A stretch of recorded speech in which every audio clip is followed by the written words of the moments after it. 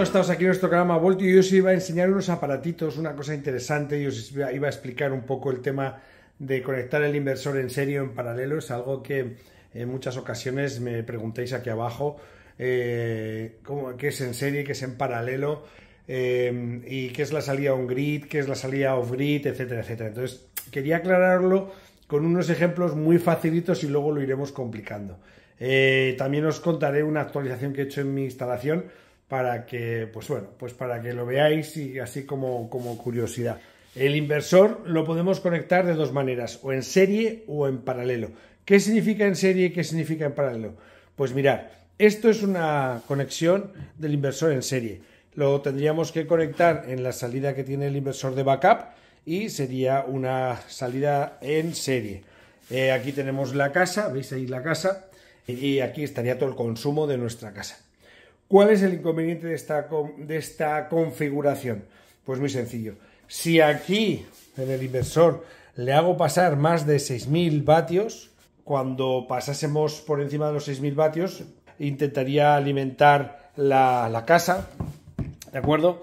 Eh, si la producción son 5.000 vatios, por ejemplo, pues cogería 1.000 de la calle. Pero toda la energía pasaría a través del inversor, de tal manera que si pasa más de 6.000 vatios, el inversor dentro tiene un relé y si sobrepasa los 6.000 vatios se apagará. ¿Por qué? Para evitar que el relé que tiene dentro se rompa y se estropee el inversor, el Ingetim, ¿de acuerdo? Entonces se apagará y nos quedaremos a oscuras en casa, porque nos hemos pasado de 6 kilovatios de potencia. Si esperamos unos, unos eh, segundos eh, aproximadamente, eh, luego se vuelve a reiniciar la luz. ¿Para qué?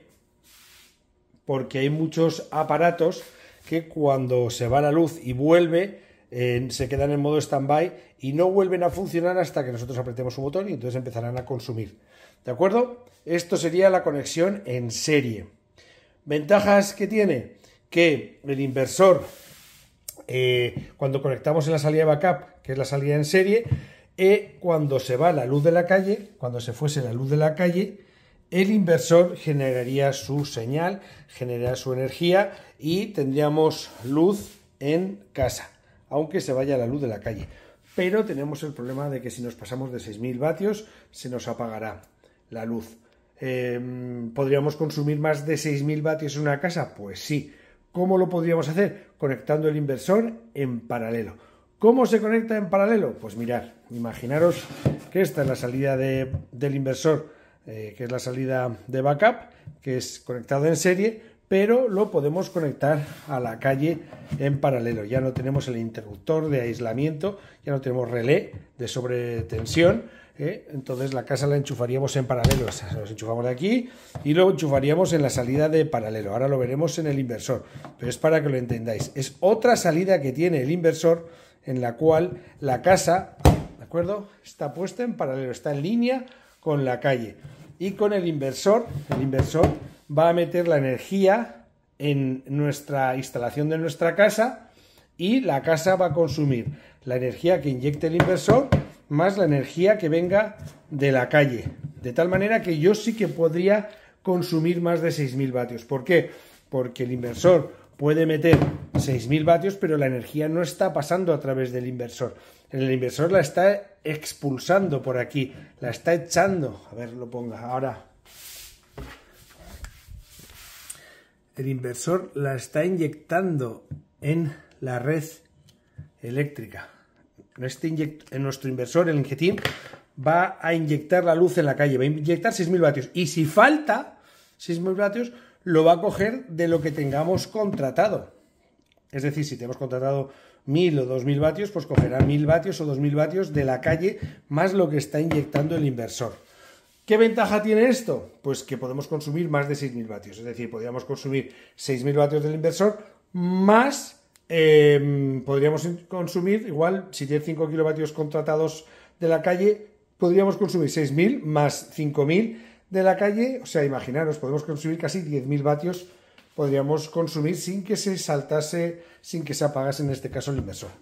¿Tiene, ¿Qué inconvenientes tiene? Pues el inconveniente que tiene es que si se va la luz de la calle, si ahora yo desenchufo el de la calle, este aquí, no tenemos la salida de backup. ¿Y qué es lo que pasa con la casa? Que se queda a oscuras. ¿De acuerdo?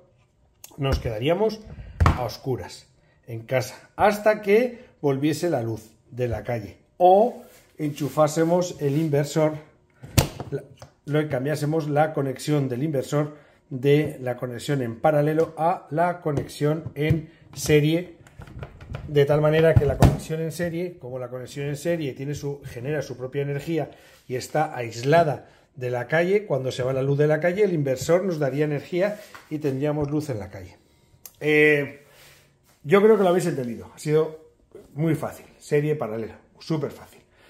Entonces, ante esta situación, mucha gente me dice, joder, pues es que, ¿cómo podríamos tener las dos ventajas, la de serie y la de paralelo?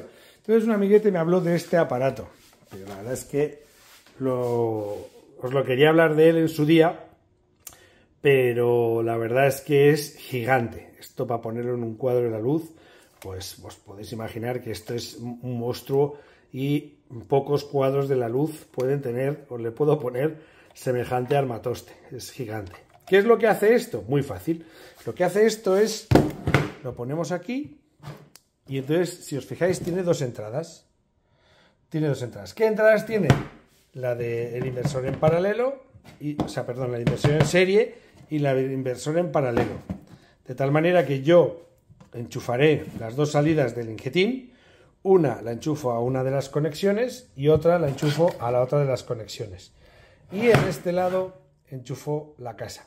El injetín va siempre está generando su salida de backup siempre está funcionando. De tal manera que si nosotros, en el momento que cambiamos esto de uno a otro, tenemos eh, la luz, tenemos la luz en, eh, siempre tenemos luz. ¿Qué es lo que pasa? Que esto tiene una velocidad de transferencia más lenta que el inversor. El inversor tiene 30 milisegundos, incluso creo que no llega, es menos de 30 milisegundos. Tarda más de 30 milisegundos, por lo tanto, podemos tener un pequeño parpadeo de luz en la casa, pero tendríamos las dos ventajas, la de serie y la de paralelo. Entonces muchos de vosotros me estáis diciendo, joder, ¿por qué me estás contando esto si ese armatoste es gigante? Muy fácil, porque he encontrado uno mucho más pequeño que hace lo mismo y que funciona muy bien. Vamos a verlo ahora en el inversor. Eh, pero quería haceros este ejemplo para que fuese eh, para que luego entendáis la versión Pro, ¿vale? Bueno, algunos se metía con mi instalación, que era una locura de cables, etcétera, etcétera. Bueno, pues he tenido un poco de tiempo y lo he saneado un poco y lo he dejado creo que bastante estupendo. Bueno, aquí lo tenéis. Eso mismo que os he estado explicando, la versión funcionando. Este nuevo aparato que está aquí, que os lo voy a enseñar, os pondré aquí debajo en la descripción del vídeo dónde pedirlo, que lo pedí en Aliexpress. No es caro, la verdad es que no es caro, es relativamente barato. Y tenemos las dos ventajas, la conexión en serie y la conexión en paralelo, las dos. Eh, funciona muy bien, lo he estado probando y la verdad es que funciona súper bien. Me tiene, lo he estado probando antes de, deciros nada. Y bueno, podéis ver aquí que está en la... tiene dos luces, la luz 1 y la luz del circuito 2 el circuito 1 es el que está normalmente por defecto, que es el 1, lo veis aquí, y este circuito 1 es la conexión en paralelo. Ahora mismo el inversor está conectado en paralelo, de tal manera que si se va, veis, está consumiendo la casa a 4000 vatios, pero la salida de backup está consumiendo 0. ¿Lo veis? Esta es la salida de backup, que lo he puesto aquí con un magneto térmico de protección para el inversor. Y entonces lo que hemos hecho ha sido del inversor tiene dos salidas, la de backup y la de on-grid, y las he enchufado las dos. Aquí tenéis la conexión 1, que es la grid, y la conexión 2, que es la de backup. Y aquí tenemos el, magnetotérmico que protege la salida del inversor de, backup. Y aquí tenemos el magnetotérmico que protege, protege la salida del inversor, la salida de on-grid. Los dos los he conectado aquí en la entrada que os he explicado antes el aparato y tiene una salida, que es este, que es LOAD. ¿Lo veis ahí abajo? LOAD. Esto, esta luz te indica que hay LOAD, que hay energía saliendo de aquí y este te indica que la 1 tiene energía y que la 2 eh, tiene eh, energía y es la de backup. ¿La veis ahí? La 2. Si ahora yo bajase esto, pero lo que pasa es que si lo voy a bajar se van a mosquear abajo en casa, automáticamente esto pegaría un viaje y se subiría arriba. y veríamos cómo empieza a consumir eh, aquí. Em, lo podemos hacer, lo que pasa que va a haber mosqueo general en casa, pero bueno, vamos a probarlo. A ver cabreo, pero bueno, da igual. Lo, todo sea por la ciencia. Una, dos y... ¡Toma! Ahora es cuando hay mosqueo en casa. ¿Vale? Entonces se ha ido aquí a cero, ¿lo veis?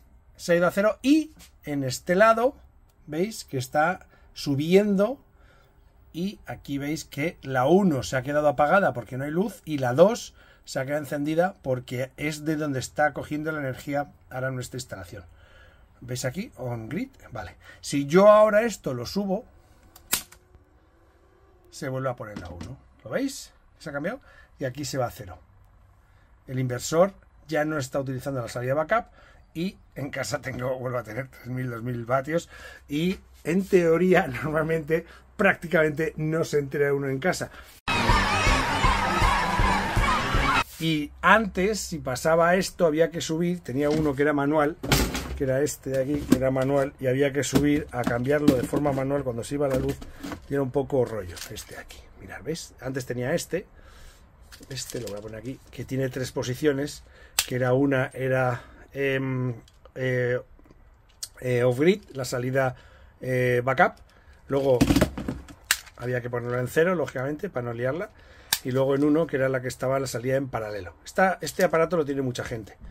Entonces, eh, lo guay de este aparato es que tú puedes, si el inversor se estropea o si hay cualquier problema, tú le dabas aquí, subías aquí arriba al cuadro este y lo cambiabas.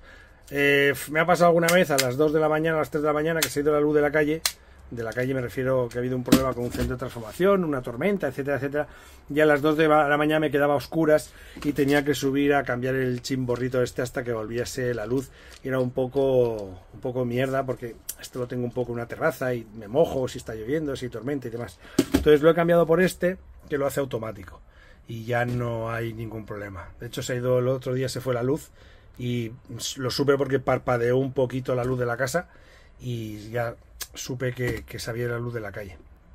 Bueno, eh, os pondré aquí abajo en la descripción del vídeo es donde comprar este dispositivo y espero haberos aclarado un poco el tema del serie y el paralelo. Eh, un saludito aquí, esto es Calma Voltio, chao, chao, sabéis suscribiros, el 50, 48% de la gente que ve mis vídeos no está suscrito, muy mal. A ver si os suscribís, que me va genial para que llegara más gente. Un saludito desde Calma chao.